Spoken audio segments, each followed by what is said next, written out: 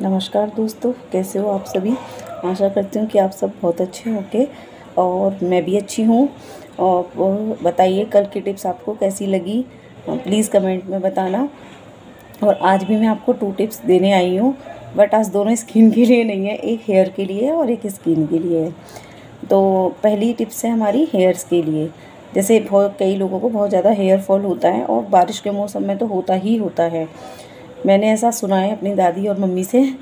तो first tips है हमारी कि आपको ना एक ऑनियन लेनी है, प्याज, एक प्याज लेनी है और उसको ना आपको ग्राइंड करना है या फिर कद्दू कस, से कद, कसते हैं ना उसको तो वो कस लेनी है आपको और उसका ना रस जूस वो निकाल लेना है आपको।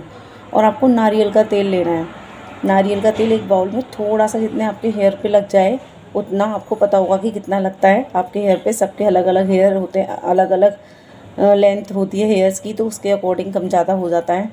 तो आपको थोड़ा, वो बाउल में लेके नारियल का तेल, उसको ना आपको थोड़ा सा गुनगुना करना है। ये ध्यान रखना कि बहुत ज़्यादा गर्म नहीं करना है, सिर्फ़ गुनगुना करना है।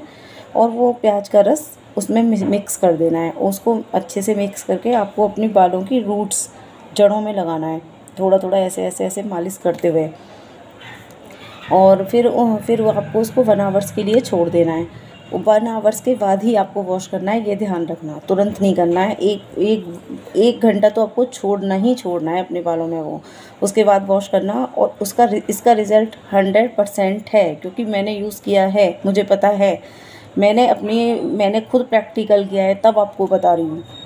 इसका हंड्रेड परसेंट रिज़ल्ट है। आपको फ़र्स्ट बार से ही इफ़ेक्ट दिखना स्टार्ट हो जाएगा।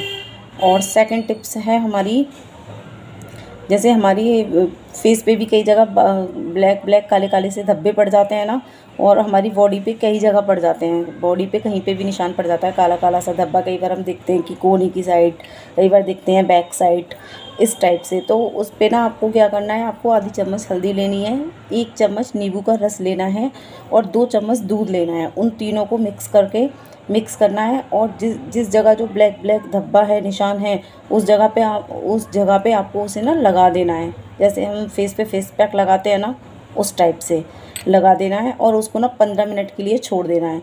पंद्रह मिनट में जब वो ड्राई हो जाएगा तो आपको ना थोड़ा सा पानी लेके उस पर थोड़ा सा पानी एक दो बूंद डाल के और उसको ऐसे मसाज करके एक मिनट के लिए मसाज करके फिर रिमूव करना है।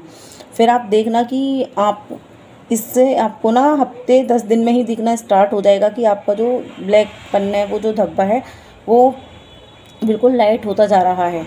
आप खुद इस चीज़ को देखेंगे जब यूज़ करेंगे तो देखेंगे कि वो लाइट बिल्कुल लाइट होता चला जाएगा धीरे धीरे क्योंकि ये मैंने खुद प्रैक्टिकल किया है, तब मैं आपको बता रही हूँ। और फिर उसके उसके बाद आपको उसे ना उस जगह पे थोड़ा सा जैसे कुछ भी लगा दो थोड़ा क्रीम क्रीम क्या? जैसे हम नारियल का तेल वगैरह हल्का सा उस जगह पे लगा दो जो, जो मैंने बताई थी ना अभी आपको सेकंड टिप्स उसको यूज़ करने के बाद उसे रिमूव करने के बाद आपको उस जगह पे थोड़ा सा नारियल का तेल वगैरह लगा देना है। फिर आप देखेंगे उसका इफ़ेक्ट कि मतलब पंद्रह दिन दस या पंद्रह दिन में आपको वो लाइट पड़ना दिख जाएगा इफ़ेक्ट आपको फ़र्स्ट बार में ही दिख जाएगा उसका कि कैसा इफ़ेक्ट है उसका। क्योंकि बहुत अच्छा है उसका इफ़ेक्ट मैंने खुद अपने आप ऊपर प्रैक्टिकल किया है, तब मैं आपको बता रही हूँ। तो आज की टिप्स कैसी लगी? प्लीज़ बताइएगा कमेंट में।